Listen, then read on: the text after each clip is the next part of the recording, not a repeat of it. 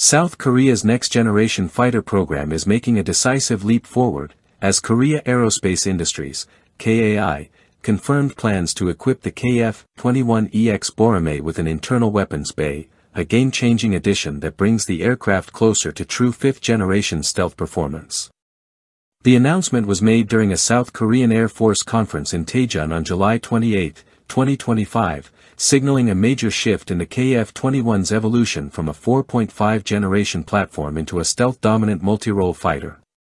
This structural redesign enables the KF-21EX to house heavy precision munitions, including 2,000-pound class bombs, Meteor long-range air-to-air missiles, and advanced small-diameter bombs, inside the fuselage, eliminating the drag and radar signature penalties of external hardpoints. By moving its arsenal internally, the fighter not only achieves better aerodynamics, fuel efficiency, and high-speed maneuverability but also gains a critical edge in low observable operations, rivaling stealth leaders like the F-35, Su-57, and J-20.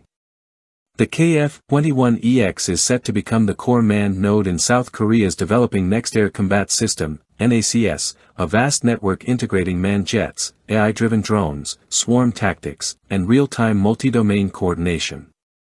During contested missions, unmanned teammates will jam enemy defenses, relay targeting data, and execute high-risk strikes while the KF-21EX maintains stealth dominance and overall command of the operation.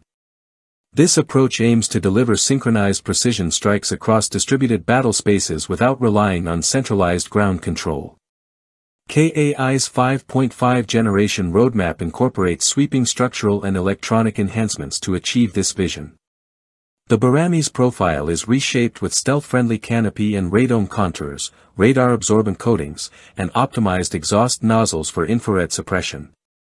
Embedded antennas and conformal sensors reduce protrusions, while advanced systems like an electro-optical targeting system, distributed apertures, and AESA radar feed into an AI-powered mission computer capable of threat prioritization, autonomous flight planning, and real-time sensor fusion. Defensive measures include Leonardo's BriteCloud decoys for surviving modern radar-guided threats. The fighter's lineage traces back to the KFX project launched in 2001 to replace aging F-4 and F-5 fleets. After years of design refinement and six successful prototypes, full-scale production began in 2024, with 120 aircraft planned through 2032. The KF-21EX variant pushes the design into stealth territory, laying the foundation for an eventual sixth-generation platform featuring tailless aerodynamics, directed energy weapons, and fully autonomous AI piloting capabilities. Powered by twin General Electric F414 GE 400K afterburning turbofans producing up to 22,000 pounds of thrust each, the KF-21EX retains a top speed of Mach 1.8 while increasing mission range and payload flexibility through its cleaner aerodynamic profile. Its modular design anticipates future weapon systems, AI-assisted mission payloads, and energy-based armaments. Two additional variants are on the drawing board, the KF-21EA, modeled on the EA-18G Growler for electronic warfare and SEAD missions, and the KF-21SA, tailored for export customers. However, these remain conceptual, with operational deployment projected to be more than a decade away. Defense analysts warn that achieving early production milestones for the KF-21EX is critical if South Korea intends to challenge the dominance of Western stealth fighters in the global market.